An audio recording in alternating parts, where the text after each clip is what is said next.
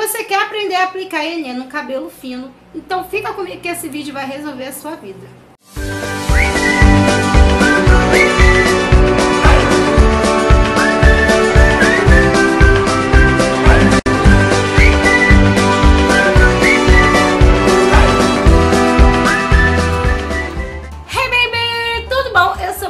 Letícia do blog paulaletícia.com e também tem no Instagram aqui, ó, arroba Paula Letícia Oficial. Me segue lá pra gente ficar juntinho e eu poder passar muito mais dicas pra vocês. Que eu falei pra vocês lá no meu Instagram que o meu cabelo deu uma afinada depois da gravidez, o que é completamente normal. Muitas de vocês me perguntaram como é que eu tô fazendo pra aplicar ENI no meu cabelo, se eu tô aplicando diferente, se eu tô aplicando da mesma forma. E eu respondi pra vocês que sim, que eu estou aplicando de uma forma diferente por causa dessa nova fase no meu cabelo. Se você tem cabelo fino, com certeza você sabe o quanto é difícil cuidar desse cabelo. Então é por isso que hoje eu vou ensinar pra você como é que faz pra aplicar ENI no seu cabelo, porque é totalmente diferente de que tem o cabelo normal e de que tem o cabelo grosso. Se você tem cabelo médio, com certeza o pelúcia tradicional da Embeleze na versão médio é o ideal para você começar aplicações no seu cabelo, fazer seus retoques. Ele contém extrato de babosa que vai hidratar os seus cabelos, além de acalmar a sua pele, alisa, tinge e trata como todos os anéis da Embeleze, na versão médio e forte. E você pode conquistar agora sua liberdade capilar em embeleze.com.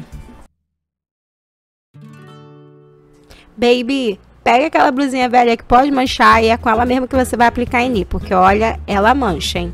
Aí depois você pega todo o Enê e passa para um pote, tá? A quantidade que você vai utilizar, se for cabelo inteiro, o cabelo for muito grande, pode estar passando tudo, aí vai da quantidade que você vai utilizar no seu cabelo, mas sempre tem que passar para um pote.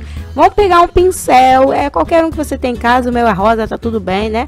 E vamos misturar, vamos misturar esse Enê aí, porque ele tava ali no embalagem Tá um tempinho parado aí na farmácia, então vamos misturar que é assim que se faz. Tem que fazer isso aí. Esse é o toque especial para Enê dar certo. Depois que você fez isso, ficou tudo misturadinho. aí vem o segredo. Vamos pegar esse pincel e começar a passar o Enê na raiz, deslizando para as pontas. E não vai pentear. Você vai puxar o Enê aí com o próprio pincel. Aí você vai pincelando. Se você estiver começando, é que você vai fazer aí a da raiz para as pontas. Agora, se você é veterana como eu, né? Só vai fazer aquele retoque, já tá nessa parte do alívio, aí você faz só o seu retoque e não puxa para as pontas. Eu estou fazendo assim para mostrar quem está começando como é que se faz, ok? Agora vem aquela dica da Paula. Eu quero que você ó, utilize essa hashtag quando você fizer coloca bastante Enê aí nessa raiz com esse pincel, tá? É para lambuzar, é para ficar assim igual tá aí. Depois, no final, vai ficar assim. Se você tá começando, você coloca aí um saco plástico, não dobra esse cabelo, deixa esse cabelo esticado. Agora, se você já é veterana, menina, se você já tá nesse momento que é só retoque, momento mais calminho, você pega e bota aquela toquinha linda, aquele momento que é só seu, que tu fica linda, que tu olha no espelho e fala, ó, oh, coisa linda! Deixa aí 60 minutos e é só retirar. Agora me diz se não é fácil fazer essa aplicação de Enem em cabelo fino. Então, ó, comenta aqui embaixo, eu quero saber a tua opinião, o que, que você achou. Se vai usar, se já usou, se faz assim, eu quero saber tudo. Me conta aqui embaixo que eu quero saber. Importante aqui é eu saber de vocês se vocês estão gostando da dica.